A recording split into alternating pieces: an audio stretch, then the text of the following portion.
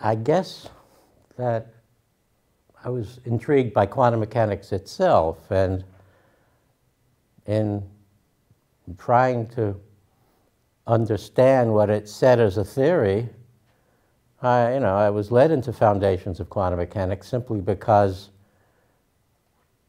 this is one of these foundational questions, foundations of quantum mechanics, where actually understanding the foundations is really not understanding foundations, it's understanding the theory itself. I, as someone interested in physics and really intrigued by fundamental physics, that is the most basic kind of physics, which quantum, quantum mechanics is supposed to be very basic physics. And I'm, I'm talking about when I was, uh, you know, a, st a student, high school, college. I simply wanted to understand quantum mechanics. And uh, to me, that really is, amounts to understanding what is now called foundations of quantum mechanics.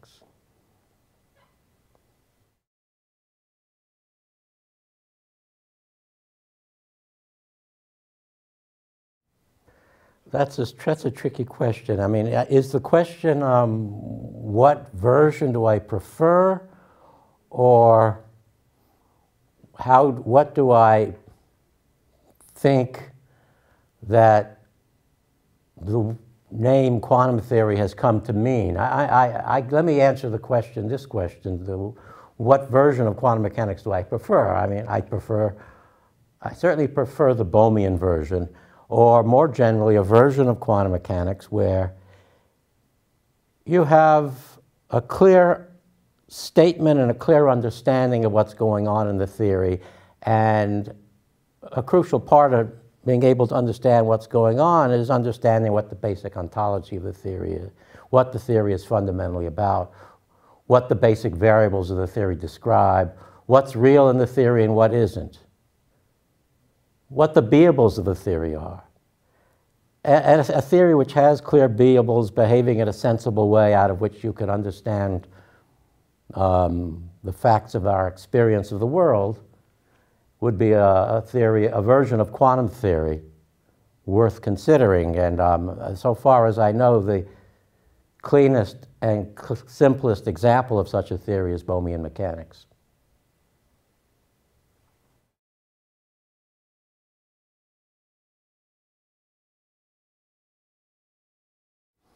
Mm. Yeah, that's a complicated thing too. It is often claimed that with quantum mechanics, we're dealing with, we have a theory which involves inescapable, unavoidable, irreducible randomness. And of course, the no hidden variable theorems were, particularly von Neumann, was famously um, known as someone who had shown that any return to determinism is impossible. Now, we know that isn't true, that it, is possible to have a deterministic version of quantum mechanics. Uh, Bohmian mechanics is a deterministic version. And the surprising thing about that is you would, you would have thought at the very least that at least it would be hard to have a deterministic version of quantum mechanics. So you have to work hard to overcome the limitations that somehow suggested by von Neumann and other no hidden von Neumann's and other no hidden variables theorems. You would not have expected that something that could be argued to be the simplest version of quantum mechanics would just turn out to be deterministic. And I do, I do think that's the situation. That's the situation we're in with Bohmian mechanics, and I think it's quite striking. At the same time, with Bohmian mechanics, it turns out there's a sense in which one does have some sort of inescapable randomness in quantum mechanics. Not in the dynamics, but in the but arising from the fact, which can be shown, that for a typical, in a typical Bohmian universe, there are sharp limitations to what we can know, limitations which are accurately described by the usual quantum probabilities. So that a Bohmian universe is a universe which is demonst demonstrably involved quantum randomness, even though it seems like, and in a sense, it doesn't. So it's a bit paradoxical, but it's, there's no real paradox here. It's simply a question of being clear about what you mean by a theory involving randomness. In one sense, there's no randomness at all, but in, one, in another sense, the Bohmian world will be a world which it, it's, it, in which randomness appears to be playing an essential role.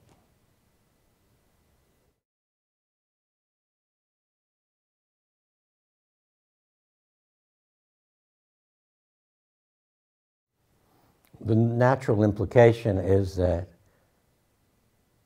if, if Bell's inequalities are satisfied, the, the implication is that our world is, involves non-locality, something like spooky action at a distance, non-local, distant connections which are not explained in local terms, mm, connections which are superluminal, are transmitted somehow faster than the speed of light.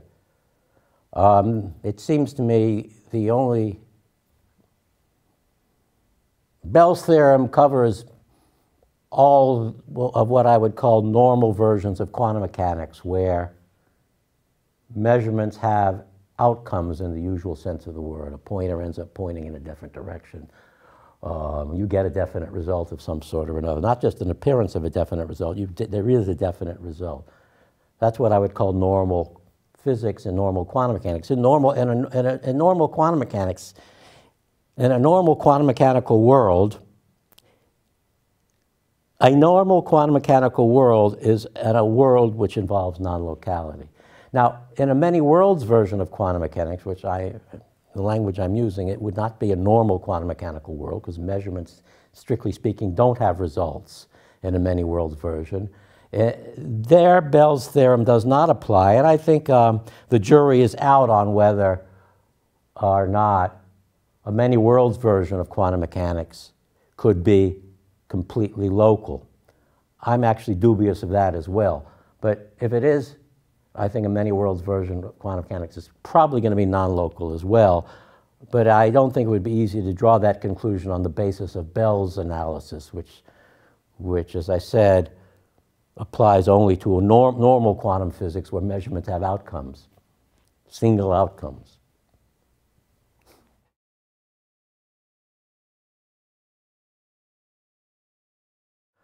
Well, there's a sense in which um, there, philosophy and physics cannot be separated. Physics is concerned with the nature of reality, physical reality. Philosophy is concerned with reality in general, but uh, part of philosophy is certainly concerned with physical reality, the most fundamental and basic kinds of questions about physical reality. There should be no sharp boundary between physics and philosophy. Now, it, it somehow has happened that in many of the last decades, three, four, five, six, seven decades, physicists have turned away from being concerned about what they properly should be concerned about, the nature of physical reality as such, and at least many have, and have left it up to philosophers to worry about what the reality is, what reality is described by quantum mechanics. It's not that the philosophers should have been the people primarily doing that. I think physicists should primarily have been doing that. But the fact, I would, therefore, I would say the fact that it's so seems to be more philosopher, more philosophers than physicists who are concerned with such a question points to um, the, the fact that we're dealing with a somewhat pathological situation when it comes to quantum physics. Pathological sociology, I think the pathology is, obviously, I think it's in the, among the physics community.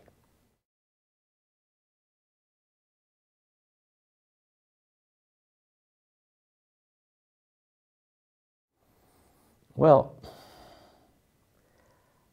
that, that let me interpret that question. Um, I would say uh, what I find is the most difficult point to appreciate in foundations of quantum mechanics, though I think it's a simple point, is what sort of is the meaning of an adequate ontology for the theory? There's, first of all, the problem of convincing physicists that the notion of ontology is even relevant to physics. Physics is about reality, uh, the basic constituents taken seriously of our world, the, the most elementary uh, ingredients of us and everything around us. So, one struggle is to get physicists to appreciate that ontology matters. But even many who have appreciated that they need ontology seem not to have a good appreciation of what an adequate ontology even means. I have in mind, um, for example, pointing to objects of, at a level of abstraction where it's hard to see how such objects, so far removed from what we would take to be a concrete reality in space and time, how such objects at such a level of abstraction could be actually used to extract predictions about things taking place in space and time. Now, on a more practical and more, on a totally different level, I would say uh, the big, a big issue in foundations of quantum mechanics is how to come up, how to reconcile quantum non-locality with relativity. Relativity is, is widely regarded as being at great tension with non-locality, but we know a quantum world is a non-local world. What to do about that tension is a big question.